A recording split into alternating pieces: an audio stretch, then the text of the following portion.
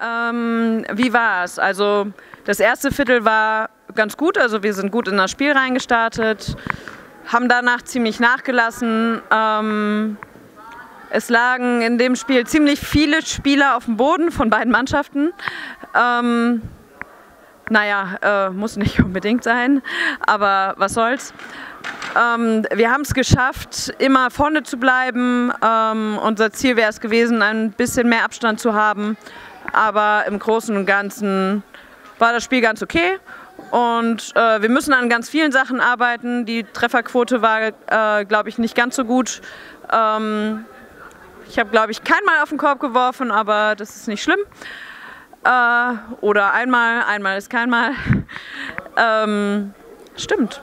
Nee, da wurde ich abgeräumt von hinten. Doch, ich wurde abgeräumt von hinten. Auf jeden Fall. Ja, ja, ja. Ähm, ja, an der Defense, an der Offense, überall kann man ein bisschen drauflegen und dann wird das schon.